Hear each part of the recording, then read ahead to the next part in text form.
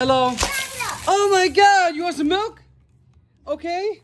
Damn. There's no cereal. Okay, I got you. Put some milk in there. Give it a spoon at that. Here you go.